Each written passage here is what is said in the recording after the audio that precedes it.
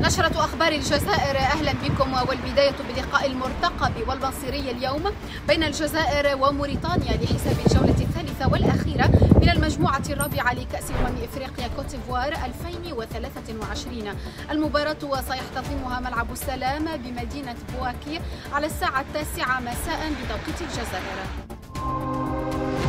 قال الوزير الفنزويلي للفلاحة المنتجة والأراضية خلال مشاركته في منتدى الأعمال الجزائري الفنزويلي بالعاصمة الجزائر. إن الجزائر تتمتع بتجربة كبيرة في مجال الغاز وللبلدين إمكانات كبيرة للتعاون في ميدان الكهرباء القائمة على الغاز.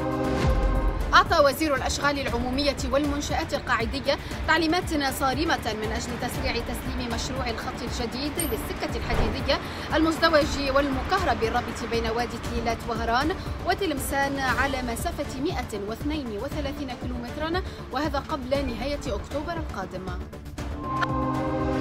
أحصت الحماية المدنية خلال 24 ساعة 3124 تدخلا على المستوى الوطني بمعدل تدخل كل 27 ثانية من أجل حوادث المرور والتسمم بالغاز وحوادث منزلية وحوادث أخرى متفرقة. قال مدير تنظيم الأسواق والنشاطات والمهن المقننة بوزارة التجارة إن الوزارة عملت منذ بداية الشهر الجاري على مضاعفة كمية الإنتاج خاصة في مادتي الزيت والسكر. وهذا ضمن الإجراءات الاستباقية من أجل ضبط السوق والتحكم في الأسعار تحسبا لشهر رمضان. قال المؤرخ الفرنسي بنجامين ستوغا في حسابه الخاص على الفيسبوك إن اللجنة المختلطة الجزائرية الفرنسية المكلفة ببحث ملف ذاكرتي ستجتمع مجددا الخميس الخامس والعشرين من جانفي الجاري بالعاصمة الفرنسية باريس.